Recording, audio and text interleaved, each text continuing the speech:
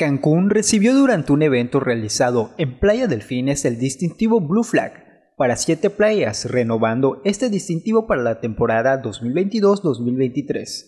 El destino se sigue consolidando en primer lugar nacional en sitios con Blue Flag, y líder internacional en embarcaciones de turismo sostenible, como resultado del cuidado, atención y esfuerzo por mantener estos espacios naturales a la vanguardia y con altos estándares de calidad. Las autoridades destacaron que las playas que obtuvieron renovación de banderas azules son siete a cargo del municipio, del Niño, Las Perlas, Chagmol, Ballenas, Marlín, Delfines y Coral, así como tres de hoteles que se han hecho corresponsables de su cuidado y manutención, que son de las cadenas Fiesta Americana Condesa, Hotel Life Aqua y Hotel Iberoestar, junto con 31 embarcaciones de turismo sostenible con Cancún Sally. También se otorgaron los distintivos a las empresas privadas acreedoras de Blue Flag. La alcaldesa municipal, Ana Patricia Peralta, dio la correspondiente al distintivo Eco Schools 2022 a cinco instituciones educativas que acreditaron los criterios correspondientes en el ciclo escolar 2021-2022. Colegio Alexandre, Colegio King David, Colegio Creativos, así como los planteles CONALEP 1 y 3. Joaquín Díaz Ríos, director ejecutivo de Fundación para la Educación Ambiental en México, subrayó